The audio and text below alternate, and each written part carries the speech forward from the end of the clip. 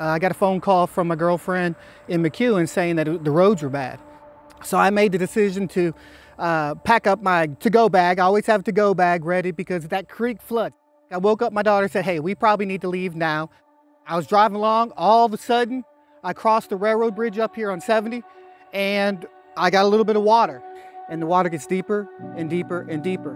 Within two minutes, two or three minutes, it was in my lap.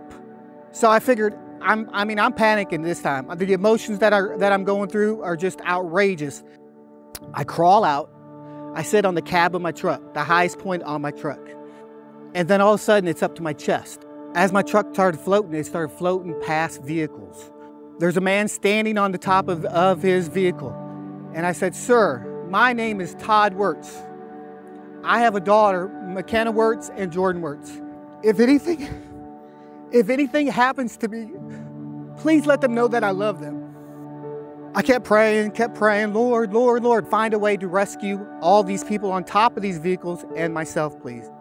Within five minutes, this guy on the top of the hill, I, I hear noise on top of this hill at his driveway.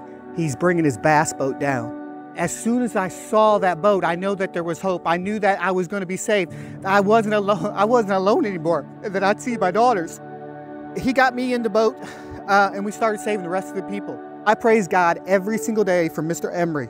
I praise God for the, for the help that this community has served the people of this community. The pain that you go through. I, I, never realized that when I was doing disaster relief. I was there helping people, I was there helping get their lives back together, but I never understood the trauma that these people have gone through. When you guys came in Tuesday and helped me, that burden was just outrageously lifted off of me. They also made me feel good.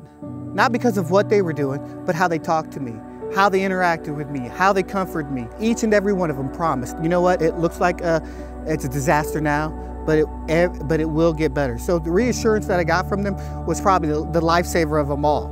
I became involved in the disaster response uh, team here. It was a big part of our life and one of our big joys.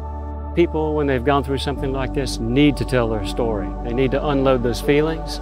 We are here because we care. And we care because Jesus cared for us. And if they don't know uh, the love of the Lord, it's an opportunity to share that with them sometimes. We're here really to tell the gospel and if necessary, do some work. And for people who are believers to just remind them that their hope is somewhere beyond the stuff that they just lost.